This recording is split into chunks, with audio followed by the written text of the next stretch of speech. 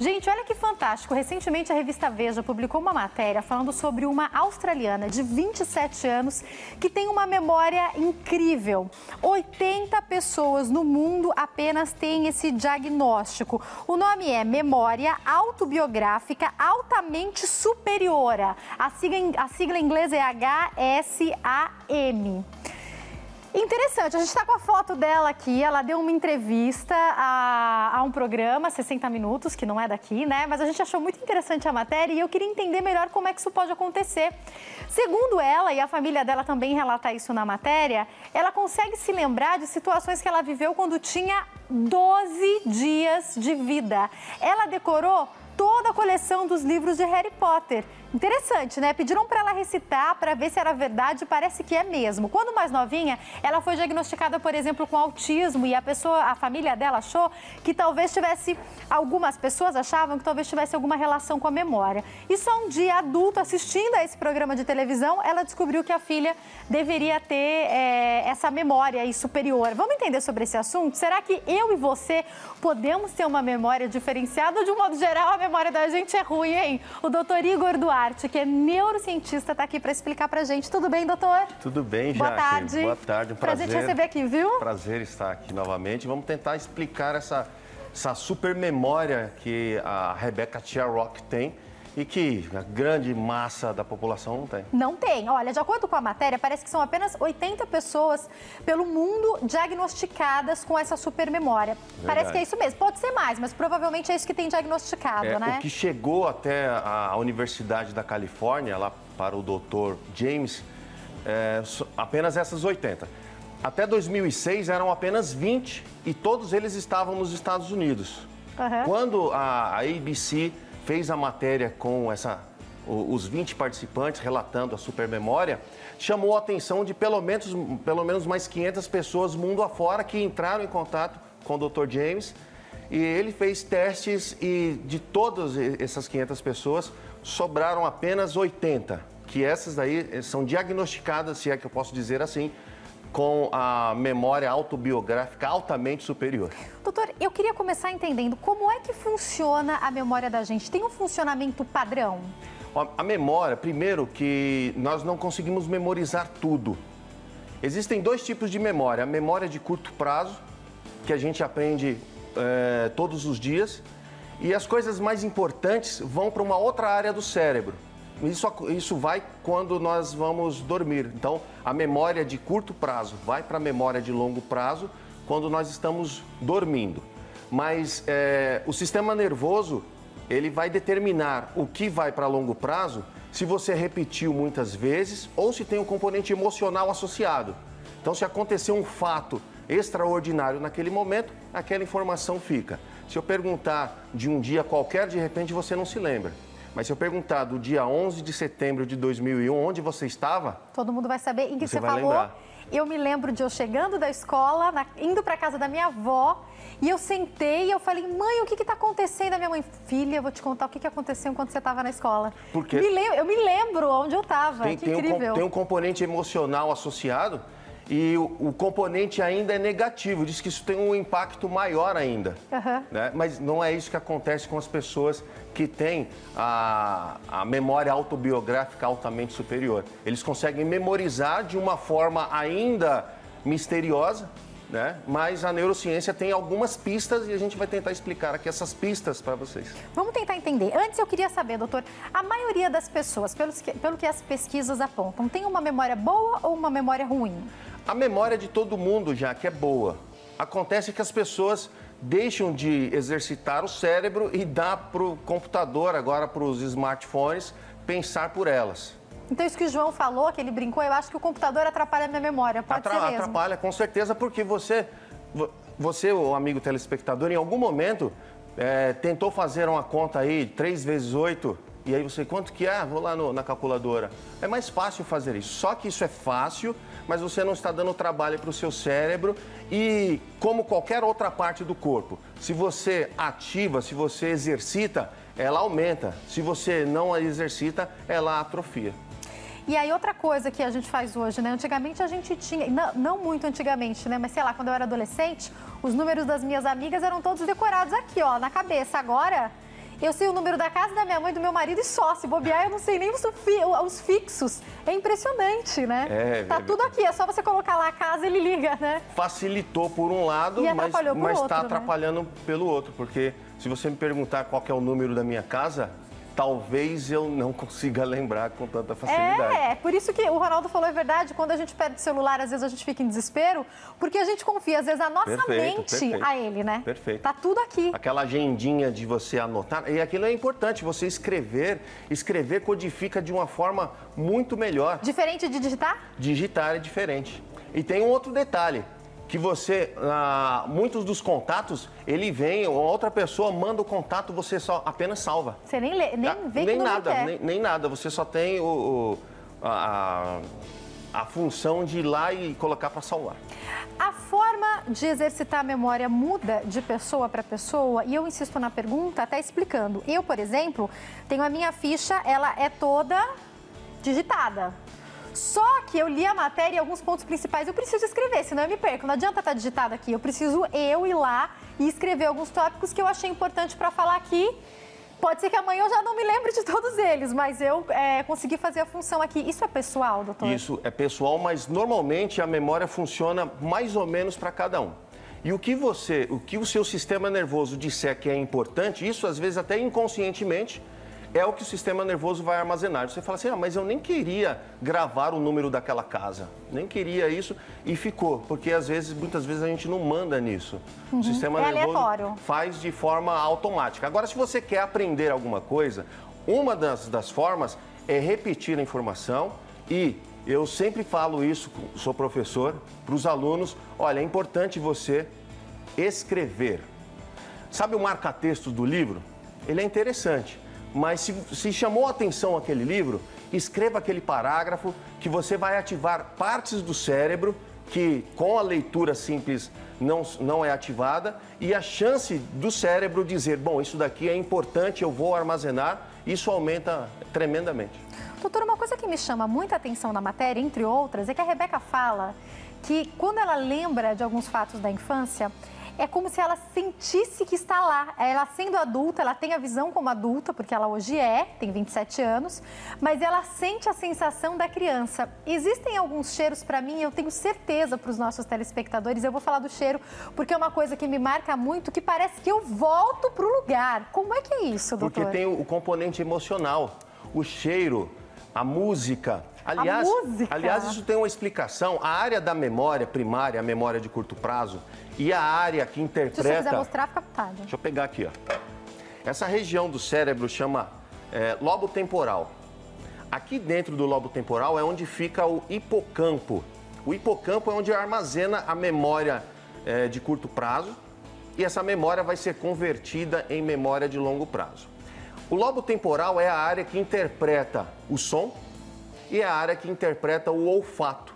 Por isso que o cheiro e a música lembra, traz, ele vai resgatar a memória com uma facilidade muito grande. E a memória, como está associada normalmente a uma sensação, a um sentimento, a sensação vem como se você estivesse lá. O que é muito gostoso, inclusive, Ah, é gostoso né? quando você tem memórias boas. É, quando né? as memórias não são tão boas, não é tão legal, é, né? É verdade. Você sente e fala, ai, não lembro, não quero lembrar, não quero lembrar desse dia. E é involuntário muitas é, vezes, É né, involuntário. Doutor? O cérebro também tem um mecanismo de defesa para esquecer. Se alguma coisa foi traumático, o cérebro tende a eliminar aquilo como um mecanismo de defesa, para você não viver lembrando daquilo. É muito traumático. E esse é um problema para as pessoas que têm a memória autobiográfica altamente superior se elas não conseguem se esquecer de nada e teve uma infância, por exemplo, traumática, imagina, vai conviver com isso pelo resto da vida, né? lembrando todos os dias, isso é muito negativo. Doutor, o que, que acontece com essas pessoas? O senhor falou que ainda não dá para ter certeza absoluta, mas tem pistas, não né? Não dá.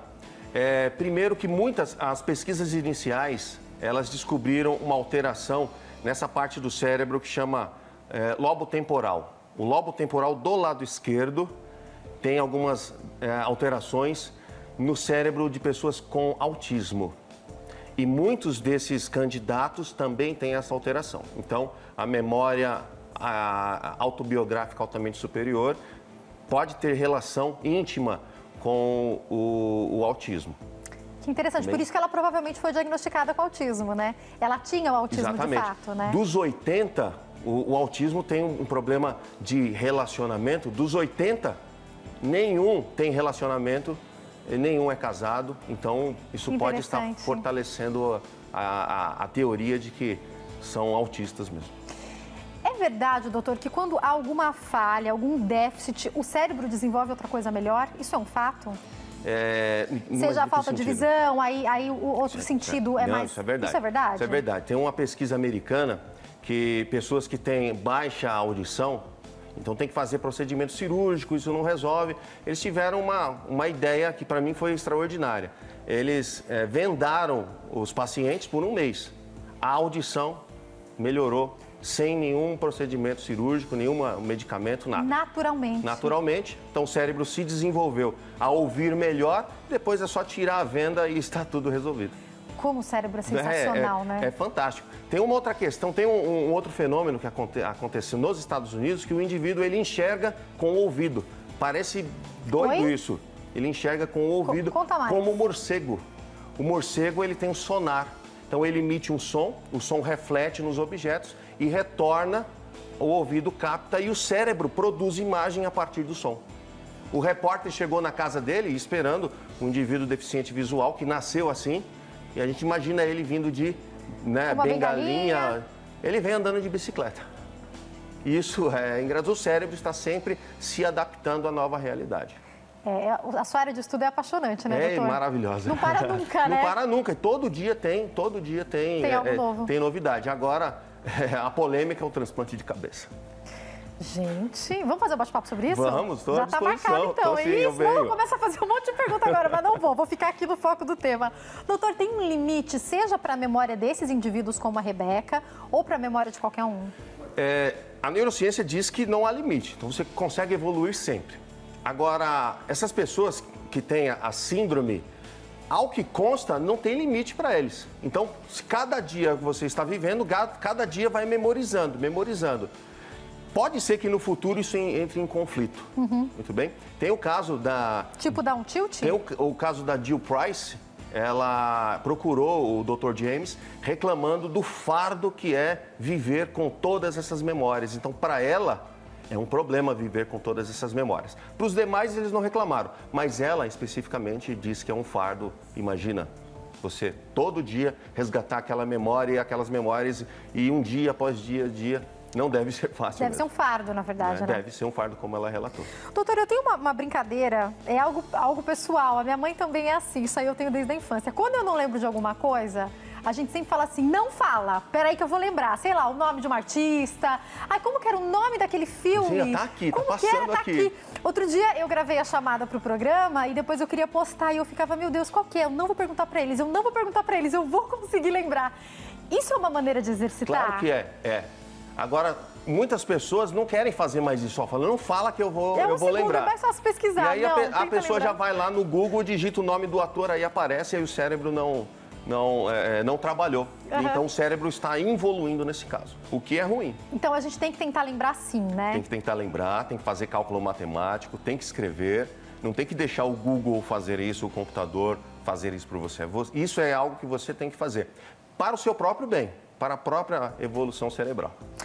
Doutor, é, pensando, o senhor, falou, o senhor falou da palavra Google, né? Uma das denominações para essas pessoas que têm essa alta memória é Google humano? Googles humanos, porque eles sabem de tudo. Então, o teste inicial para saber se a pessoa tem a síndrome é fazer perguntas sobre fatos e acontecimentos. Elas decoram sobre. É verdade que ela, se ela lê todos os livros de Harry Potter, ela fica, decora? fica. No caso da Rebeca, ela sabe todos, todos eh, os parágrafos de todos os livros do Harry Potter. Ela sabe de tudo. Então, mas claro, ela precisa vivenciar aquilo. Se ela não lesse, ela não ia conseguir. Então a pessoa fala assim, então ela Claro. de- desenvolveu o elixir da sabedoria. Não é assim. Ela estudou tudo precisa estudar. tudo. E aí estudou, fica, fica memorizado. Pelo menos algo que se diz. Fizeram um teste com todos eles e no máximo um erro apenas. Imagina de uma bateria de Não perguntas. enche a nossa um. caixa? Não, eu tô pensando aqui no computador, né? Que chega uma hora que ele dá, dá, dá um tilt, né? Não, a nossa talvez enche sim. A deles não. A deles, ao que consta, não. ao que consta, cabe mais. Mas a gente não sabe isso no futuro. O que, que vai acontecer, que, né? Que conflito se pode trazer Todos têm mais ainda. ou menos essa faixa etária dela? Eu não, eu não pesquisei sobre a idade dela, mas Ela a, tem a- 27, a- a é. idade de todos, todos. mas os que eu pes- pesquisei têm tem no máximo 40 anos. É, então a gente não sabe o que vai acontecer ainda. A- aliás, a- a- é novo isso. Foi descoberto em- no ano 2000. Só em 2006 que colocaram esse nome. Até 2006 não tinha nome. Era Super Memória, Google Humano. E aí em 2006 eles batizaram com Memória Autobiográfica Altamente Superior. A gente pode falar que essas pessoas são mais inteligentes ou não? Ah, é complicado falar de inteligência, mesmo porque existem, existem tipos de inteligência. Tem pessoa que tem uma inteligência motora melhor que a outra, etc. É, a gente pode dizer que a memória deles é melhor. É melhor. Aham. Agora, a forma de como eles memorizam, que ainda continua uma- uma incógnita. Talvez descubra isso possa ajudar a melhorar as, as memórias. Imaginou? No futuro, Uau. resolver problemas de Alzheimer, de repente isso pode ser. Conhecer esse mecanismo pode ajudar no tratamento de doenças. A ideia é que essas pessoas sejam alvos de estudo agora? O que, que se faz? Quais os próximos passos, doutor? É, tem que estudar, mas é, é complicado que a, a pessoa precisa é, estar. Ela precisa querer, Querer fazer. disso, e de né? repente ela não quer, por vários motivos, porque ela trabalha. Muitos deles trabalham. Tem um jornalista de uma importante é, emissora de TV é, no mundo e ele é, tem a síndrome. E ele diz que para ele é ótimo. Não, para mim é ótimo. Então eu acho que dificilmente ele vai se submeter a um exame desse, já que está tudo bem para ele. Doutor, o senhor está falando e me faz pensar no seguinte: eu conheço poucas pessoas, mas conheço, na verdade, eu conheço duas mães que tiveram uns filhos muito novinhos. é, que os médicos falaram, olha, seu filho é superdotado. Os pais se assustam muito com isso. É, eu já ouvi pais falarem, olha, é legal o médico falar, o pediatra falar, vamos fazer, vamos fazer, e os pais fugirem, não quero fazer. Por que que ainda causa tanto Não, mas medo? é porque vai, vai classificar a criança como diferente. Aham. E aí, imagina o, o que é diferente na sociedade igual, ah, muitas vezes é isolado. E aí acho que o pai está tentando preservar o seu filho de situações. Mas pensando do que é, o que é melhor fazer quando uma criança é diagnosticada, Ó, os pais percebem que tem alguma coisa a mais. Seria excelente levar para um centro onde a educação é diferenciada. Né? É, resgatar esse potencial da criança, melhorar isso e, quem sabe, trazer gênios aí como futuros Albert Einstein. Seria ótimo para a humanidade. Doutor, por que, que o cérebro da gente é tão. Eu vou colocar uma palavra aqui, eu não sei se é o cérebro ou se é a gente, preguiçoso. E eu vou dar um exemplo meu para isso. Aqui no programa eu consigo perceber o que está acontecendo aqui, o que está acontecendo aqui no meu dia a dia, gente. Ainda mais agora que eu estou pondo a culpa na gestação, eu esqueço tudo que você possa imaginar. Eu esqueço o caminho, eu esqueço. E aí eu fico pensando, poxa, eu consigo aqui dominar tudo. Por que, que será que no meu dia a dia eu deixo isso? Pode ser uma seleção do cérebro e as pessoas falam isso nas suas profissões, pode ser, né? Pode, pode ser o que, sim. que o senhor acha sobre Então, isso? O cérebro, ele é seletivo. Você decide no que você vai dar atenção. Aqui é o seu trabalho, a sua sobrevivência, então você precisa estar 100% ligada. Depois que passa isso, o cérebro tende a entrar no, no, no padrão e consome pouca energia. Então o cérebro gosta de consumir pouca energia. Por isso que as pessoas não gostam muito de pensar. Que tem uma diferença entre pensar e ter pensamentos. Pensar, você utiliza conexões que antes estavam lá descansando. E isso gasta uma energia tremenda. E para gastar energia, produz uma terceira energia que é o calor. A cabeça esquenta. Então a pessoa fala assim: ah, eu estou de cabeça quente, porque pensou. E as pessoas não gostam muito de pensar. Aliás, o cérebro ele prefere ficar lá no- no- na sua zona de conforto. Por isso que a tendência é a gente regredir e depois deixar no automático. Só pra gente usar o termo aqui, offline, né? Não, Ele não, prefere offline, ficar no offline é ótimo, é isso. Gostei, É Ronaldo. Dica do Ronaldo, essa palavra. Valeu, Ronaldo. Eu queria entender mais a respeito das crianças e dos estímulos. Depois eu vou chegar nos adultos. Mas ainda falando sobre memória, eu brinquei com algo que eu faço, mas eu percebo que às vezes a gente não tem muita paciência com a criança. A gente pede pra criança, ah, pega aquilo ali pra mim. A criança tá aprendendo, né? Então a criança olha, ela fica, pega o controle remoto, por exemplo. Ela fica, ela fica, o pai não aguenta, ele vai lá e pega e fala isso aqui. E o isso é um ideal seria, por favor. Isso é um, é problema porque é, a falta de paciência dos pais, que a gente também entende do dia a dia, né? mas o pai precisa compreender que a criança está em- na fase de, de aprendizado.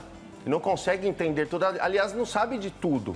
Uhum. a criança está absorvendo as informações. Aliás, essa informação grosseira que os pais fazem, a criança vai armazenar isso também e vai assumir aquilo como o, o, o comportamento correto, o que não é errado. Então, ter paciência com a criança, leve, se necessário for, leve a mão da criança lá para fazer a tarefa. Fala assim, filho, filha, é assim que se faz. E a criança, o cérebro da criança é muito plástico.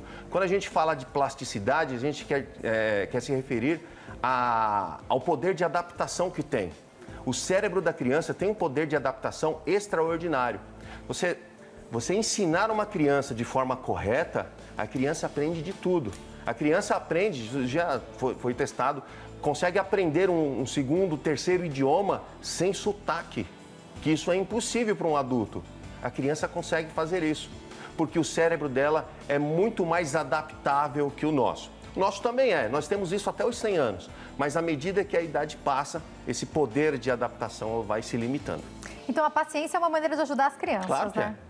Tem alguma man uma maneira de exercitar a memória, seja para crianças ou para adultos? Ó, a leitura é uma forma de, de, de, de armazenar a informação, né? Testes com imagens é importante para criança. Sério? Aquele Sabe, joguinho aquela, de memória? Aquele joguinho de memória. Aquele joguinho que eu, eu não me lembro o nome agora, acho que eu nem sei o nome daquilo, que aparece uma imagem e depois aparece a outra ali e você tem que descobrir qual é o par daquele. É, aquilo eu é ótimo. isso aí de jogo da o, memória. É, jogo da memória. O cérebro gosta de fazer aquilo, sabe? De, de encaixar a pedra no seu lugar. Toda vez que você consegue acertar, ativa uma área do cérebro chamada... É núcleo accumbens, que está relacionado com o prazer. O cérebro sente um prazer tremendo quando ele acerta. E claro que isso ele fica é, eufórico para realizar a nova atividade, acertar de novo e sempre acertar e sentir aquela sensação boa. E é interessante, porque quando eu faço alguns desses exercícios de vez em quando, e no começo eu erro, gente, até começar a acertar, parece que o cérebro vai sendo treinado mesmo. E aí né? você vai trazendo de volta, vai resgatando aquela, aquela coisa que o cérebro tinha que estar lá no passado. Sabe aquela memória que você não lembra há 10 anos?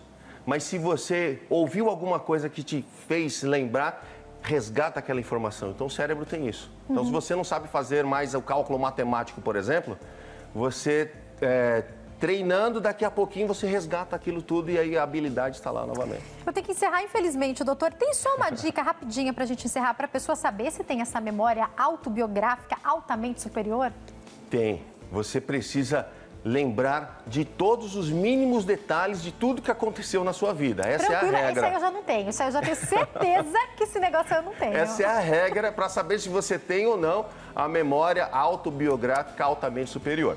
Se você se lembra de muitas coisas, então a Universidade da Califórnia é o local onde eles fazem os testes para saber se você tem ou não. Você vai ter que entrar em contato lá com a equipe do Dr. James e, se necessário for, ir até lá fazer uma bateria de, de testes. Quem sabe você não é o, o número 81 dessa lista. Quem sabe não tem um brasileiro nos assistindo que descobriu é? agora, não né? É? Um pai olhando para o filho, é. falando, poxa, é ele, é vai saber, né? Fala assim, sou eu. Só lá, que no caso não sou eu, com Nem certeza. eu, também não sou. Doutor, muito obrigada, Obrigado, viu? Foi um prazer te receber aqui. Prazer é sempre meu. Quem quiser entrar em contato tem o site www.igorduarte.com. Tem o telefone 0 operadora 11 4295 1227 e o e-mail assessoria@igorduarte.com. Mais uma vez, obrigado e uma obrigado, ótima tarde, doutor. Um abraço.